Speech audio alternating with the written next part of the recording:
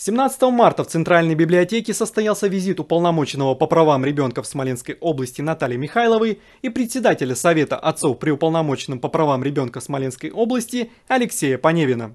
Также в мероприятии участвовала специалист Центра социальной и правовой помощи детям «Расправь крылья» Вера Старовойтова. Мероприятие длилось более четырех часов и проходило в три этапа. В начале семинар на тему «Защита жилищных прав детей-сирот, оставшихся без попечения родителей», на котором специалисты встретились со студентами Десногорского энергетического колледжа. Экспертами семинара выступили уполномоченный по правам ребенка в Смоленской области Наталья Михайлова и директор Центра социальной и правовой помощи детям «Расправь крылья» Алексей Поневин. Ими было проведено первичное тестирование целевой аудитории на правовую грамотность. Затем вниманию слушателей была представлена презентация об алгоритмах реализации жилищных прав детей-сирот, о льготах и пособиях. Информация, которую предложили ведущие мероприятия, оказалась интересной и полезной для слушателей.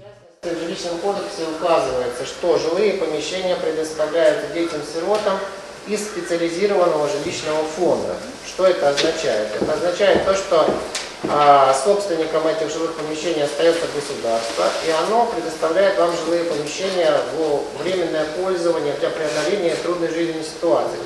Мероприятие состоялось в рамках проекта «Территория права», направленного на правовое просвещение и юридическую помощь детям-сиротам. Он реализуется за счет средств президентского гранта, выданного Фондом президентских грантов.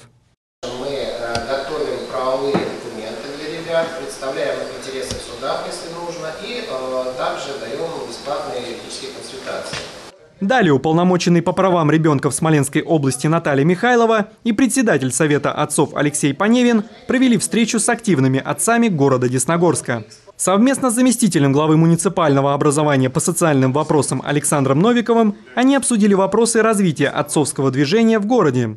Также была представлена презентация о деятельности Совета отцов при уполномоченном по правам ребенка в Смоленской области.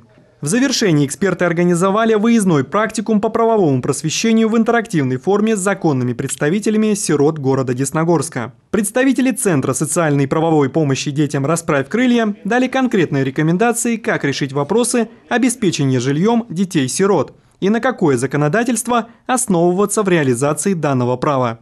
Вопрос обеспечения жильем детей, оставшихся без попечения родителей, всегда остается особенно важным. Виталий Волков, Юлия Соболева, Александр Ерофеев, Десна ТВ.